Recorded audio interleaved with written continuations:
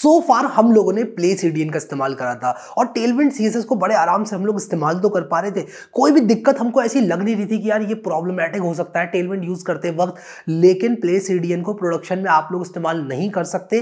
Play CDN को development के time पर आप ज़रूर इस्तेमाल कर सकते हो। आज के इस वीडियो में मैं आप लोगों को बताऊँगा कि टेलविंड सीएसएस को आप क्यों इस्तेमाल करते हैं, क्योंकि बहुत सारे सवाल आप लोगों के दिमाग में हो सकते हैं। जैसे कि क्यों टेलविंड को इस्तेमाल करें जब हम इनलाइन सीएसएस लिख सकते हैं।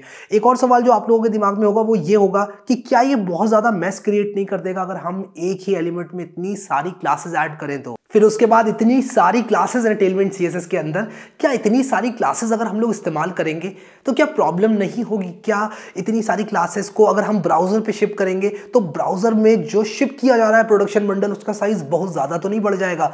ऐसा बिल्कुल भी नहीं होगा। हर चीज़ का सॉल्यूशन होता है टेलमेंट सी के पास। आज के इस वीडियो में आपको डिटेल में बताता हूँ और आपको प्रोडक्शन सेटअप भी बताऊँगा कि अगर आप एक सीरियस प्रोजेक्ट को डिप्लॉय कर रहे हैं और आप लोग इस्तेमाल करना चाहते हैं टेलवेंट सीएसएस को तो किस तरह से आप लोगों को अपनी स्ट्रैटेजी बनानी चाहिए?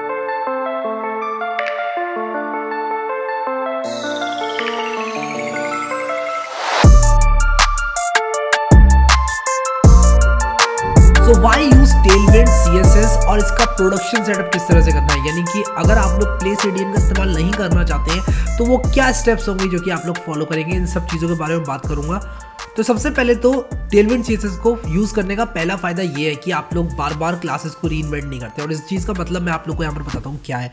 देखो यार, जब भी आप लोग एक ट्रेडिशनल सीएसएस की सहायता से वेबसाइट बनाते हो, तब होता क्या है कि आप लोग सीएसएस के अंदर क्लासेस के नाम जो है ऐड करते हो और वो क्लासेस अपनी एच में भी यूज़ करते हो। फॉर एग्ज़ाम्पल अगर आप लोग एक साइड बार बना रहे हो हो सकता है कि आप लोग साइड बार के नाम की एक क्लास बनाओ। हो सकता है आप लोग साइड बार डैश पैरा के नाम की एक क्लास बनाओ एंड सो ऑन तो जब इस तरह के काम आप लोग करोगे तो एक सबसे बड़ी चीज़ जो है, वो है आप लोग को सोचना पड़ेगा, यार इस क्लास को क्या नाम दूँ, इस क्लास को क्या नाम दूँ, क्या इस क्लास को मैं रीयूज़ करूँ या ना करूँ, और अगर आप किसी क्लास को रीयूज़ कर रहे हैं तो कब चेंज करके क्या चीज़ बिगड़ेगी आपको नहीं मालूम होता है।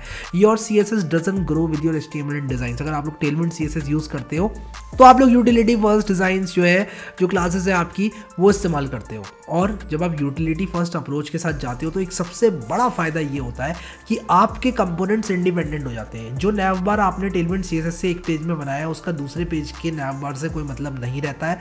अगर आप लोग यूटिलिटी क्लासेस यूज़ कर रहे हो, आप लोग एक पर्टिकुलर नैव बार की यूटिलिटी क्लास चेंज करके, या फिर अगर आप लोग हेडर फुटर में सेम स्कीम रख रहे हो, अगर आप अपनी जो सीएसएस वाली एच लिखते हो, यानी कि वो एच जिसमें आपने सीएसएस फाइल्स बनाई हैं अगर आप लोग वो लिखते हो तो हो सकता है कि आपने हेडर फुडर में सेम क्लास का इस्तेमाल किया हो। आपने चेंज करी हेडर के लिए चेंज हो गया आपका फुडर और ये हो जाती है फ्रस्ट्रेटिंग चीज़। तो ये चीज़ नहीं होती है टेलमेंट सी में। When you make a change no risk of breaking existing templates यानी कि एग्जिस्टिंग टेम्पलेट्स को ख़राब करने का रिस्क जो है, काफ़ी हद तक मिनिमाइज हो जाता है। मान लो मैं एक एचटीएमएल लिख रहा हूँ, मैंने एक क्लास डाली अपनी साइड बार में और दूसरी क्लास मैंने डाली अपने अबाउट पेज के एक राइट साइड के छोटे से साइड बार में और दोनों का नाम मैंने साइड बार रख दिया, दोनों का बैकग्राउंड रेड है। मैं चाहता हूँ कि मैं एक साइड बार को ग्रीन एक साइड बार को रेड रखूँ तो मुझे एक दूसरी क्लास डालनी पड़ेगी अब अपने दूसरे वाले साइड बार में। You got the point utility first approach से ये होता है कि आप सिर्फ़ क्लासेस चेंज करके कंपोनेंट को चेंज होता हुआ देखते हो और एक काफ़ी अच्छा एक्सपीरियंस होता है जब आप डेवलपमेंट कर रहे हो तो। If you try to build the site from the last video using pure css you will get a lot of questions के आंसर्स अब कुल मिला के मैं यहाँ पर क्या कहना चाहता हूँ मैं ये कह रहा हूँ कि यार हमने लास्ट वीडियो में एक वेबसाइट बनाई थी, एक लैंडिंग पेज बनाया था। मैं चाहता हूँ कि आप वो लैंडिंग पेज खुद से बनाकर देखो। मैं चाहता हूँ आप वो लैंडिंग पेज बनाकर देखो यूजिंग सी एस एस आप H T M L C S S files का इस्तेमाल करो और उसको बनाकर देखो, आपको पता चलेगा कि टेलविंड सी एस एस का क्या रोल है, क्या टेलविंड सी एस एस का कुछ महत्व भी है कि नहीं है। आप लोगों को काफ़ी हद तक ये चीज़ पता चलेगी।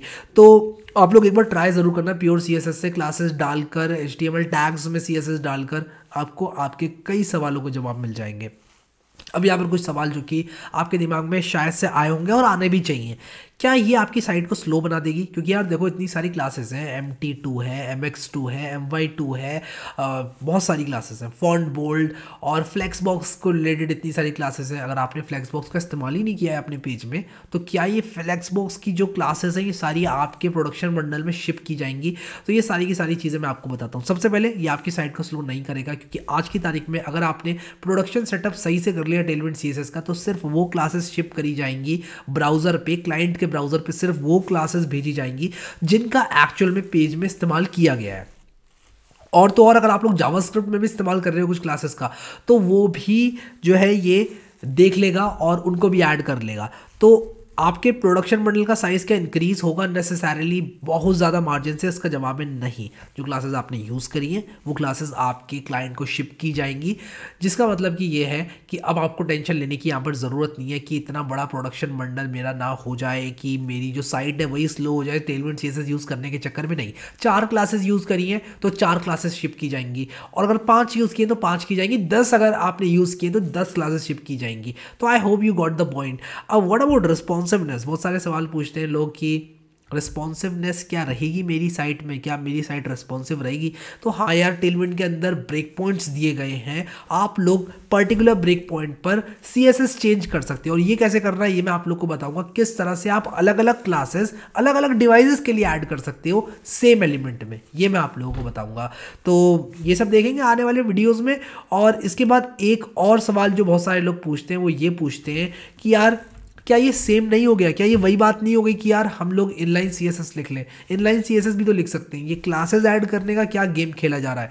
तो क्लासेज ऐड करने का game inline C S S के गेम से टोटली डिफरेंट है। लेट मी टेल यू जब आप टेलमेंट सी एस एस की यूटिलिटी फ़र्स्ट क्लासेज यूज़ करते हैं तो ये यूटिलिटी क्लासेज डिज़ाइन करी गई हैं अच्छी वेबसाइट्स बनाने के लिए। अगर एम एक्स टू आप लोग डालते हो और एम एक्स फोर डालते हो तो ये जो डिफरेंस है साइजिंग में मार्जिन की, वो डिफरेंस काफ़ी चीज़ों को, काफ़ी फैक्टर्स को मद्देनजर रखते हुए लिया गया है। उसी के साथ साथ अगर हम लोग बात करें अलग अलग डिवाइसेस में आपकी अलग अलग यूटिलिटी फ़र्स्ट क्लासेस अगर आप लोग ऐड करते हैं तो जो ब्रेक पॉइंट्स हैं वो काफ़ी सोच समझ के बनाए गए हैं और ये जो यूटिलिटी फ़र्स्ट क्लासेस डिज़ाइन की गई हैं, ये आपके ओवरऑल डिज़ाइन को बहुत ज़्यादा कंसिस्टेंट रखने वाली है। अब अगर आप लोग यूज़ करते हो इनलाइन सीएसएस तो हो सकता है आप एक जगह एक पिक्सल्स डाल दो, एक जगह एक पिक्सल्स डाल दो। फिर उसी के साथ साथ इनलाइन सीएसएस को टाइप करने का पेन सिर्फ़ वही समझ सकता है जो कि इनलाइन सीएसएस में स्टाइल टैग डाले, उसके बाद उसमें स्टाइल्स को ऐड करे और उसकी भी इंटेलिजेंस लेटर से आपको उसकी इंटेलिजेंस भी मिल जाती है। अगर तो कौन सी वैल्यू कौन सी यूनिट्स किस तरह से यूज़ करनी है? फिर बड़ी बड़ी सी की प्रॉपर्टीज़ जो कि टेलमेंट की क्लासेस में काफ़ी छोटी करके एक क्लास बना दी गई है, वो सारे के सारी जो लाभ है टेलमेंट सी का, वो आप लोग नहीं उठा पाएँगे। तो यहाँ पर अगर आप लोग को इसको और गहराई से समझना है कि यार क्यों यूटिलिटी फ़र्स्ट क्लासेस बेटर हैं हमारे इनलाइन सी से तो आप लोग बनाकर देख लो यार, एक पेज बनाकर देख लो छोटा सा इनलाइन सीएसएस का इस्तेमाल करके आपको आपके सवालों का जवाब मिल जाएगा, ठीक है? तो ये हो गया वाई यूज़ टेलमेंट सी और भी बहुत सारे रीजन हैं टेलमेंट सी को यूज़ करने के, और वो आप लोगों को थ्रू आउट द कोर्स मिल जाएँगे बट ये मुख्य कारण थे हम लोग टेलमेंट सी क्यों यूज़ करें, ठीक है? अब यहाँ पर एक बहुत बड़ा सवाल जो कि आप में से कई लोगों के दिमाग में होगा कि किस तरह से टेलविंड सीसस को प्रोडक्शन के लिए सेटअप करना है। जो आपकी स्क्रीन पर अभी मैंने स्टेप्स दे रखी हैं, आप इस पर्टिकुलर वीडियो को बुकमार्क कर लो या फिर आप लोग इस पर्टिकुलर पेज का स्क्रीनशॉट ले लो। मुझे नहीं पता यार कैसे भी करके इस मोमेंट को कैप्चर करो, क्योंकि यहाँ पर मैं आप लोगों को बताने वाला हूँ ऑप्टिमल तरीका टेलविंड सी को यूज़ करने का, ठीक है? अभी तक हमने प्ले सी का इस्तेमाल किया था और डेवलपमेंट के लिए प्ले सी बहुत कमाल की चीज़ है और मज़ा आ जाता है। आप लोग सिंपली ऐड कर सकते हो क्लासेस और एकदम कमाल का चलता है। लेकिन जब आप लोग एक बड़े प्रोजेक्ट पर काम कर रहे हो तो आपको एक नोट जी प्रोजेक्ट जो है इनिशलाइज करना पड़ेगा। अब यहाँ पर देखो, मैंने यहाँ पर लिखा हुआ है to setup Tailwind C S S run these commands ये सारे कमांड्स आपको रन करने हैं Tailwind C S S project को सेटअप करने के लिए। सबसे पहले एक डायरेक्टरी के अंदर जाना है आपको N P M init minus Y लिखना है। ये क्या करेगा? इनिशियलाइज कर देगा उस डायरेक्टरी को as a node JS project अब इसके बाद आपको N P M install minus D ये सारे के सारे पैकेजेस इंस्टॉल करने हैं। Tailwind C S S post C S S auto prefixer और उसके बाद वीट जो कि हमें एक सर्वर स्टार्ट करने में मदद करेगा। ये सारे पैकेजेस इंस्टॉल करने हैं। इसके बाद आपको N P X Tailwind C S S at minus P ये कमांड रन करना है, और इससे आपकी जो है टेलविंड सी एस एस की कॉन्फ़िगरेशन फ़ाइल जनरेट हो जाएगी। फिर आपको एक input dot C S S file बनानी है, और उसमें ये तीन एंट्रीज ऐड करनी है। ये पूरा एट द रेट से लेके सामने कॉलम तक नीचे वाले आपको पूरा का पूरा कॉपी करना है। इसके बाद आपको अपनी टेलविंड की जो कॉन्फिक फ़ाइल हमारी जनरेट हुई थी, उसके अंदर कंटेंट एम को चेंज करके कंटेंट स्टार में चेंज करना है। इसके बाद आपको स्टार्ट वीट को चेंज करना है पैकेज डॉट जेसन की स्क्रिप्ट सेक्शन के अंदर, और इसके बाद आपको एनपीएम रन स्टार्ट कमांड चला देना है। ये सारे के सारी चीज़ें मैं आप लोगों को बताऊँगा देखकर। लेकिन अभी के लिए आप क्या करो, इस पेज का स्क्रीनशॉट ज़रूर ले लो यार, क्योंकि अगर आपने इस पेज का स्क्रीनशॉट नहीं लिया है तो फ्यूचर में आपको ज़रूर काम आने वाला है। जब आप अपने टेलमेंट सी का प्रोजेक्ट जो है सेटअप करोगे तो इसका स्क्रीन ज़रूर ले लो और मैं आप लोग को ये सारी स्टेप्स अभी करके दिखाता हूँ। तो यार यहाँ पर मैं करूँगा क्या? एक जल्दी से नया फोल्डर बनाऊँगा और मैं यहाँ पर इसका नाम रखूँगा डेमो टेलविंड ठीक है? तो बेसिकली मैं एक डेमो प्रोजेक्ट आपको सेटअप करके यहाँ पर दिखा रहा हूँ, उन स्टेप से जो कि मैंने आप लोगों को अभी बताई थी। मैं क्या करूँगा, इस फोल्डर को वी एस कोड में खोल लूँगा। और इस फोल्डर को वी एस कोड में खोलने के बाद मैं क्या करूँगा, सबसे पहले तो एक index dot H T M L बनाऊँगा, ठीक है? और index dot H T M L बनाने के बाद ये मान लो मैं अपना Tailwind Tailwind C S S project जो है सेटअप करना चाहता हूँ, ठीक है? तो मैं यहाँ पर आप लोग को बताता हूँ जल्दी से क्या क्या करना है आपको। आपको सबसे पहले तो क्या करना है? N P M init minus Y run करना, इससे क्या होगा कि आपका जो पैकेज डॉट जेसन है वो जनरेट हो जाएगी, ठीक है? तो यार एक बार आपकी पैकेज डॉट जेसन यहाँ पर जनरेट हो जाती है तो आप लोग क्या करेंगे कि वो जो कमांड मैंने आप लोगों को दिए थे, उसको रन करेंगे। तो मैं क्या करता हूँ कि उसको जल्दी से कॉपी करके लाता हूँ। तो मैं वो जो कमांड मैंने आप लोगों को दिया था पैकेजेस इंस्टॉल करने के, वो मैं यहाँ पर आप लोगों को दे देता हूँ। और यहाँ पर देखो N P M install minus D Tailwind C S S post C S S auto prefixer और वीट अब ये मैं कहाँ से लाया? अब जो टेलविंड की वेबसाइट है उसमें अगर आप लोग सेटअप वाले सेक्शन में जाओगे तो वहाँ पर आप लोगों को मिल जाएँगी ये सारी, ठीक है? तो गेट स्टार्टेड में जाओ और उसके बाद यूजिंग पोर्ट सीएसएस में जाओ तो ये सारे मिल जाएँगे। मैंने वीट एक्स्ट्रा ऐड किया है, ठीक है? ये कर लिया आपने। आपके सारे के सारे ये पैकेजेस इंस्टॉल हो गए। इसके बाद अगला स्टेप क्या है आपका? N P X Tailwind C S S init minus P यानी कि आपको टेलविंड सी एस एस की कौन फ़ाइल जनरेट करनी है और पोस्ट सी एस एस की कौन फ़ाइल जनरेट करनी है। तो ये दोनों फाइल्स जनरेट हो गई। इसके बाद कॉन्टेंट में मैं स्टार लगा दूँगा, जैसे मैंने आप लोगों को बताया था। ठीक है? मतलब कि सारी की सारी फाइल्स पर मैं टेलविंड सी एस एस की क्लासेस यूज़ करना चाहता हूँ। इसके बाद मैं input dot C S S यहाँ पर लगाऊँगा और इस input dot C S S को इंक्लूड कर लूँगा अपनी एच टी एम एल के अंदर। तो यहाँ पर हम लोग लिंक सी एस एस यहाँ पर यूज़ करेंगे और यहाँ पर आप लोग देखो मैं क्या करूँगा, ये जो हमारा सी एस एस फ़ाइल है इसके कंटेंट को मैं यहाँ पर ले आऊँगा, ठीक है? मैंने सेव कर दिया और सेव करने के बाद मैं क्या करूँगा? अपना ये जो मेरा पैकेज डॉट जेसन है, इसके अंदर एक स्टार्ट स्क्रिप्ट लगाऊँगा और जो मेरा N P M run start है, वो वीट को स्टार्ट कर देगा। तो मैं N P M run start जैसे ही करूँगा, आप लोग देखो यहाँ पर एक लोकल होस्ट थ्री थाउज़ेंड पर मेरा यहाँ पर ये जनरेट हो गया। मैं आपको एक चीज़ दिखाता हूँ यहाँ पर, ठीक है?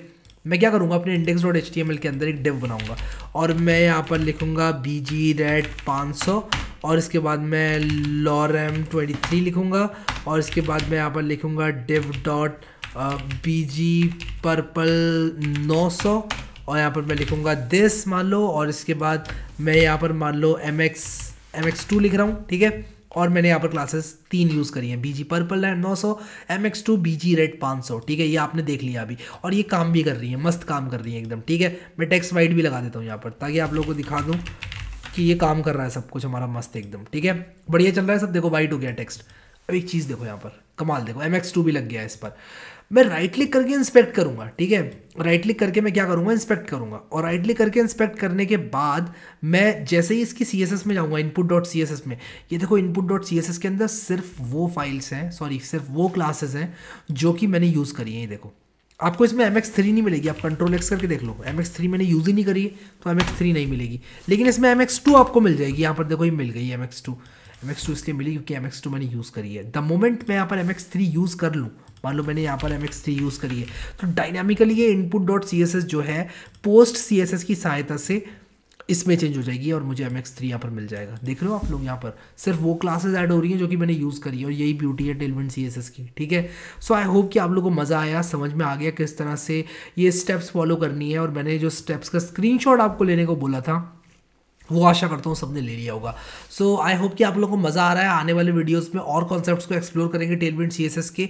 अभी के लिए इस वीडियो में इतना ही guys thank you so much guys for watching this video and I will see you next time